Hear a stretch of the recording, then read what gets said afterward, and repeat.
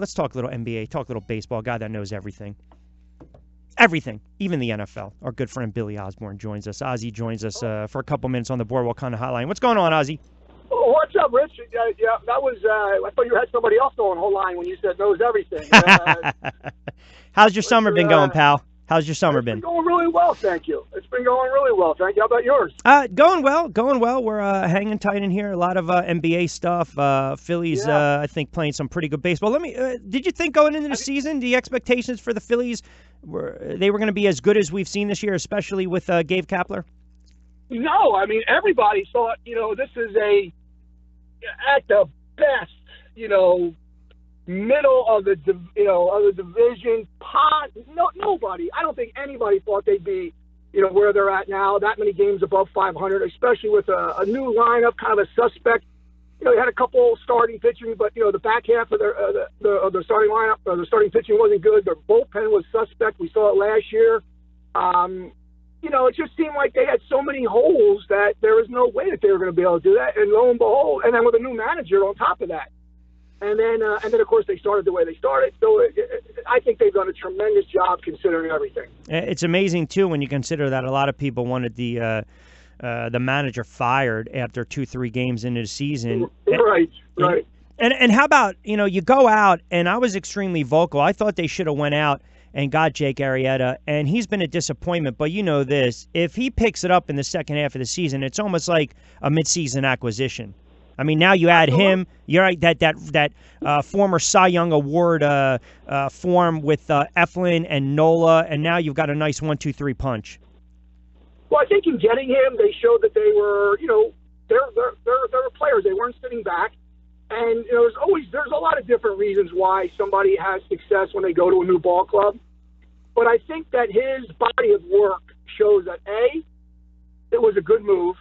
B, it should have helped the Phillies, and C, it still can't. And I think that that's that's what the Phillies really have to say. They're playing this well and they're not getting a lot of contribution for him. When he starts picking it up, and again, there's so many reasons why, you know, a new especially a new pitcher, is not successful in a new ball club. But um, he, he, you know, if he just eats some innings for them and gets them into the fifth or sixth or seventh inning, that's a win. That's a win in itself. Especially as you go down the stretch, you're going to need guys that can eat up innings.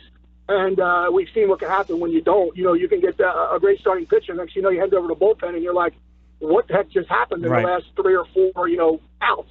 Yeah. So um, I'm with you. Uh, I I guess I'm cautiously optimistic. Yeah, I, I- think they have some sustainability, but the Nationals, I think, eventually will come around. Atlanta's such a young team, and they've got uh, two or three of the best young prospects in the game. They're a great story as well. But listen, at 49 and 38, the Phillies have won eight out of their last 10. You just got to go series by series by series, and to me, that's been the most impressive uh, impressive point. Listen, I don't know what your thoughts on of them potentially making a move for Machado. I'm still not ready to trade guys like Herrera and Franco.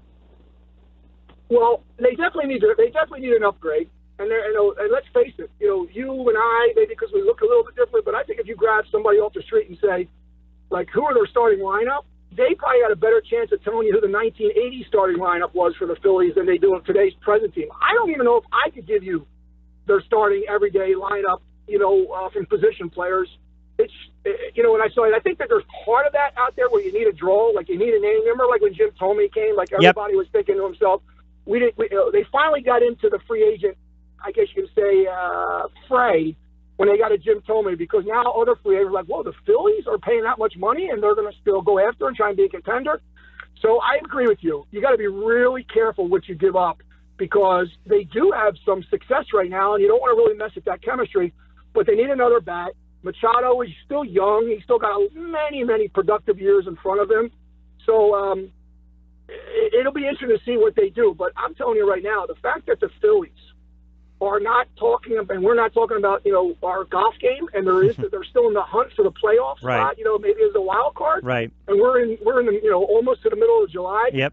You know, that's that's a big difference in the last couple seasons. Yep. Nope. I agree 100%. And the way the Mets are playing lousy baseball and the Marlins, you discount them, it's really a three team race uh, in the NL. Let's switch gears for a couple moments. Uh, Well, let, me- ask you a question. yeah, go What do you think? What do you think? What do you think Machado's worth? Because I've been kind of going back and forth with this thing too. He's going to have a ridiculous You know- contract. It's going to be one of the richest contracts in baseball history. I know. that's that's the killer. And what does that do? What does that do to the Phillies, you know, market? You know, as far as just to say their payroll, as far as you know, because just by getting him, that, they, they still got other holes to fill. So you got to be really careful in how many years you lock them up. But you also don't want to give them a lot of money and give prospects away, and then you don't get to lock them up for the long term. You know, or at least get a couple years out of them. Yeah, So but I'm curious about what the, what what his what his value is going to bring from a prospect standpoint.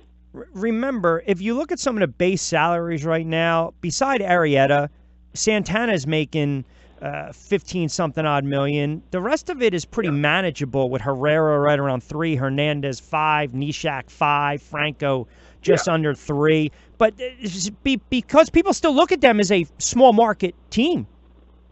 Right. But they're really not because they play in a large market. But again, it always goes back. You know, I think their active payroll is right around 85 million. Okay, well that's a that's a that's a uh, substantially less than they did when they were making their runs for when they were up you know up by the Yankees and the and the, and the Red Sox and some of those other teams. So there's definitely some room, but they just got to be really careful. But I'm like you, I'm more concerned about the prospects they give up That's that's because exactly. as we can see out there, you know, you can see some of these other teams that have made some runs. They haven't made runs because of acquisitions. They made runs because they had some homegrown talent Like the, like the the town, and next Astros. you know, Yeah, like, the Astros. Astros, and look yeah. what the Yankees Yeah, are doing right now. Yeah. and the Yankees. Yep. Everybody thinks of the Yankees. I mean, yeah, they got Stanton, who was the biggest free agent out there at the time, but the, the majority of their lineup is grown from the bullpen. Yep. Yep. So that's a good. That's a really nobody would ever think of that when they think of the Yankees. No, No, because pe- pe- people they, they think they buy all the stars, right? I mean, at the end of the day, but again, you look at guys like Hicks, you look at guys like Torres and uh, the Severinos and some of the guys on their staff, and you're getting some great production from uh, younger guys. And I already mentioned judges, we already know. Um, I'm curious. Um, we've been talking a lot with the NBA, and now that we're into the off season, and you hear some of the comments from the Sixers brass, still really without a legit GM in place, but I'll give Brett Brown some credit for being the interim GM. And you know, a lot of people want to slice apart the comments, right? Star hunting, star developing. To me, it's all sub, uh, subjective. It's all semantics at the end of the day because you were never getting LeBron. Uh, George, I don't really know. Leonard's that last bullet in the chamber. Now there's a potential report that they have some interest among other teams in Carmelo Anthony. Um, you know, listen, when you look back and you look at this team, successful season, no doubt. But I was making the point where they are in somewhat of a precarious position because LeBron bolts now the Eastern Conference to the Western Conference, so it's open. But yet, a team like the Raptors wins 59 games, but people think they've peaked because they haven't made a ton of moves. And then you look at the Sixers, they win 53 games, they win a first round playoff series, and yet they really haven't made significant upgrades.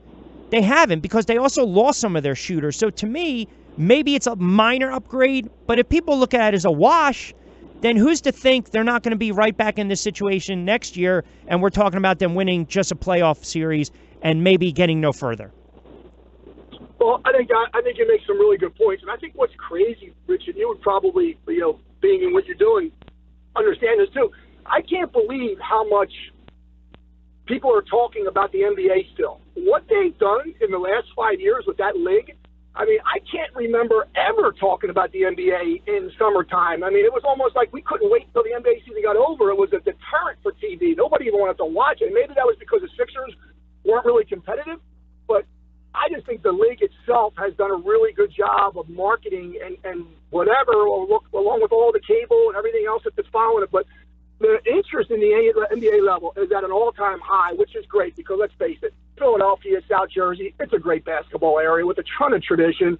So this is this is kind of fun when you can actually talk about it and actually talk about it potentially with a team that has a shot to at least be competitive and not a team that's going to be a bottom dweller and make it fun to go watch the Sixers play. That being said, with LeBron leaving, it definitely leaves the whole East, you know, wide open. And it really does say yourself, you know, okay, you still got to win the NBA championship. So I heard you before I came on talking about you just don't want to be satisfied with just having a competitive team. You want to win the championship. Couldn't agree with you more.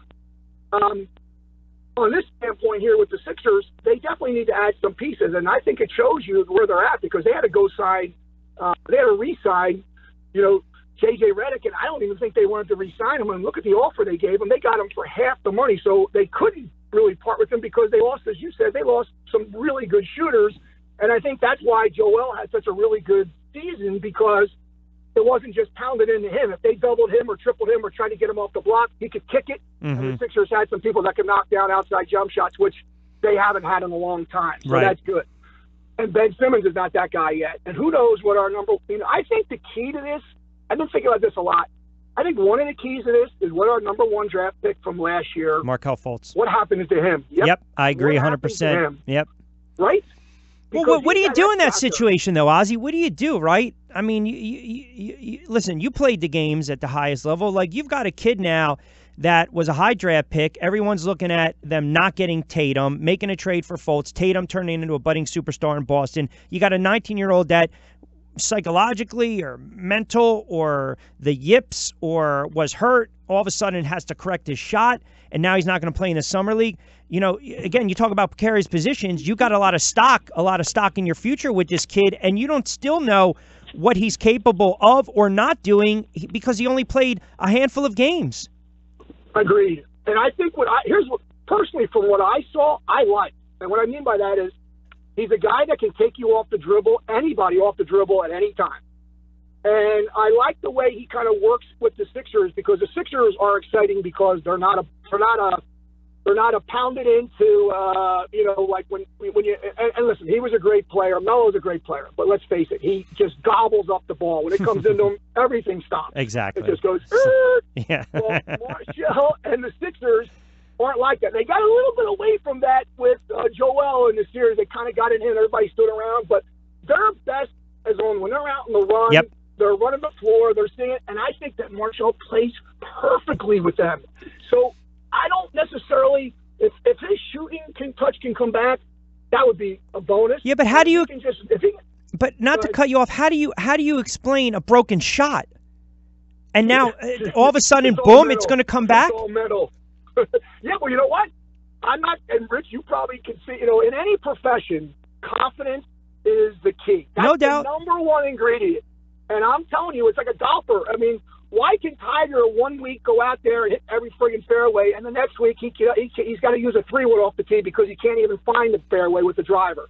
It comes down to confidence, and then confidence messes with your with your your um what you're doing with your backswing, and it's the same thing with a shooter. Shooters are especially you know shooters that are known for being able to knock down a shot. He lost his confidence, so now instead of thinking about making the basket, he's thinking about is my elbow in, is my form right, am my bait and my weight, did I follow through right? And when you do that, it's like playing baseball. Rich, you know you play baseball. If you start thinking about your swing and start Yep. thinking about where your elbow is, Yep. the ball is already in the catcher's mitt and you're done. You're sitting back in the, in the in the dugout. So I think if they can just get him to where they're saying, listen, if you can knock some shots down, great. Get some confidence, do some repetitive shooting. Um, but I think with him, it all comes down to confidence, and they can get a shot back if they find his confidence. And I think they're going to do that. I really do. I, I I'm confident in that kid. I think he is the X factor for us. Do, do you think, and this is a little more outside the box, and maybe you'll agree, maybe you you won't, that they don't want to package him with the Leonard trade because a they, as you said, think there's a ton of upside. They have uh, an enormous amount of confidence in the kid, and I don't think you give up on a 19 year old and call him a bust. I don't. Um, or is it well, if we trade him, then to a man, we're actually saying that yeah, we need Leonard, but you know what? It was a bad draft pick. That's so true. And you're not going to get the value from him right now because everybody thinks he's, you know, not not that number one pick that he should have been. So you're going to have to package him with somebody else. Whereas really, your point is well taken. He's 19 years old with a ton of upside, and he was a number one draft pick for a reason. Now, that doesn't mean that the other 20 or 30 teams would have taken him number one, but let's face it, he was in the mix for a lottery pick by every single team that had lottery picks that year. So the kid is a player. He can play, and I don't think you trading him because you're not going to get the value. So I, I'm with you. I would not trade that kid right now. I think he has too much upside, and you gave up too much to get him at number one. Plus, you gave up. Think about what you did to move up to get him. Yeah. So now I think that Leonard is obviously he he's a guy that you know if you look at what success they had, the, the guy like him is a tough matchup with anyone. Yep. So I still think there's a piece there. The Sixers can do it from a contract standpoint, from a money standpoint. It's just a matter of what the Spurs are going to get in return. And I'm not sure today. What's the latest with the Spurs and what they're asking for from? Uh, Uh, again, from- they're and you're probably only get them for one year, right? But yeah, but you know this, right? And I know we're a little tight with the break, but you know this: the longer it takes to move a superstar, that tells a team trying to get him, you might not have to give up as much. Great point. Think about what they think about what OKC had to give up for uh, uh, for Paul George last year, and think about when they moved him. They Yep. didn't move him till August last year, Yeah, and everybody thought it was going to be a one year deal. Good point. And he was just going to go there and then go to LA. Well, guess what? Yeah. He ended up going there, being a good factor. He fit in well, and now he's there locked up long term. So, with you know, I think with Brett Brown in the mix because of his relationship with with Pop and because of his relationship with uh, Juwan, I think you have uh, you have a shot at him. So I don't think the timing is bad, and I think you're right. The longer it goes, the longer or the better it is, I think, for the Sixers. And I agree with you. And with the history with uh, Paul uh, Paul George last year, I think that helps the Sixers mentally too. So, um, but if they could get him, even if it's for a year, that would give the Sixers that you know that that I guess that they get them over the top. And now you're looking at possibly a 60 win season Yeah. and a little deeper in the playoffs. That which the, the fan base uh, definitely deserves. All right, uh, I'm up against my 20 Yep. break. Listen, great stuff. Uh, we will talk next week. Uh, I always appreciate a couple of moments, pal. Thanks, buddy. Looking forward to seeing you too. All right, you got it, Ozzy. All right, be well. Billy Osborne uh, joined us for a couple moments on the uh, Boardwalk Hunter Hotline.